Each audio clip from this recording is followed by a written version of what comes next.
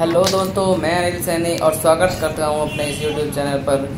जैसा कि आप देख रहे हैं कि आज हम अपने गाँव में एक स्लैब कास्ट होनी है, वहाँ पर आए हुए हैं। तो दोस्तों, देखते हैं कि हम इस स्लैब को कास्ट होने में क्या क्या प्रोसीजर यूज़ किया जा रहा है। तो दोस्तों, वीडियो देखने से पहले आप मेरी वीडियो को लाइक कीजिए शेयर कीजिए अपने दोस्तों में। तो चलते हैं बिना किसी देरी के, यहाँ पर क्या प्रोसीजर चल रहा है, देख लेते हैं सबसे पहले। यहाँ पर जो है स्लैब कास्टिंग होने से पहले शटरिंग अच्छे तरीके से कर ली गई है। उसके बाद बार बेंडिंग शेड्यूल को कंप्लीट कर लिया गया है। उसके बाद यहाँ पर कंड्यूट पाइप भी अच्छे तरीके से बिछा दिए गए और इनको कंड्यूट पाइपों को अच्छी तरीके से वायर से बांधा हुआ है, जिससे कि इधर उधर हिले ना।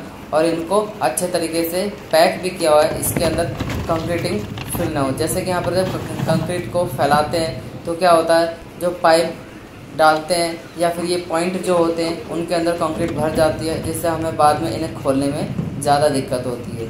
तो दोस्तों अभी यहाँ पर देखिए सीमेंट का घोल डाला हुआ है और सीमेंट का घोल डालने के बाद इसके ऊपर कंक्रीट को प्लेस कर दिया जा रहा है। जो ट्रॉली की हेल्प से हम यहाँ पर कंक्रीट को प्लेस प्लेस कर रहे हैं। देखिए यहाँ पर ड्रम रखा हुआ है। इस ड्रम में सीमेंट का पेस्ट या फिर हम कह सकते हैं कि घोल बना कर रखा हुआ है। उसको घोल को यहाँ पर पहले फैला दिया जाता है जिससे कि बॉन्डिंग भी अच्छी होती है। और जैसे कहीं पर मोटा मसाला होता है जिसमें ज़्यादा मोटी रोड़ी दिखाई देती है तो वहाँ पर ये फिलर का काम भी करते, करता है। देखते हैं दोस्तों, अब आगे की तरफ़ क्या क्या हो रखा है। यहाँ पर जो है, ये यहाँ पर इनकी मिक्सिंग मशीन है।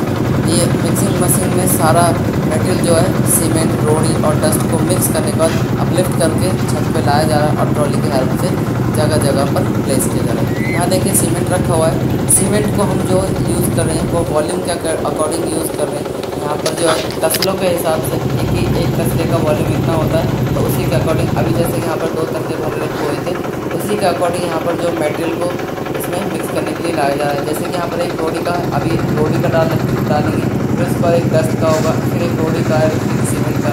तो ये रेशियो जो अभी हम नीचे जाएँगे, वहाँ नीचे जा कर के पता करेंगे, अभी हम छत से इनकी वीडियो को कैप्चर कर रहे हैं, जिससे कि हम आसानी से सारी चीज़ों को देख पा रहे हैं। यहाँ पर पानी के लिए अच्छी व्यवस्था कर रखी है, टैंकर का सुविधा दी गई है। और देखिए दोस्तों, वहाँ पर पूरे एरिया में अच्छे तरीके से कंक्रीट के लिए जो कि इन्होंने पाइप वगैरह और सारा इंतज़ाम किया हुआ है।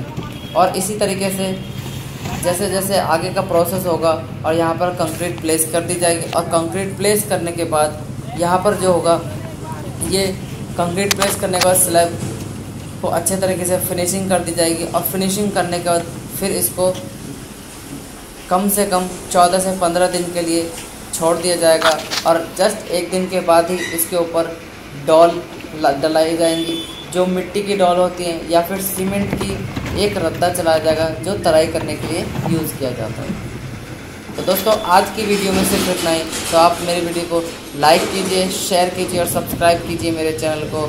और जैसा भी आपको अपडेट होगी, मैं आपको आने वाली वीडियोस में इन बातों की अपडेट्स आपको देता रहूँगा और आगे भी जहाँ कहीं भी स्लैब कास्ट होगी वहाँ की वीडियो आपको प्रोवाइड कराते रहेंगे। थैंक यू दोस्तों।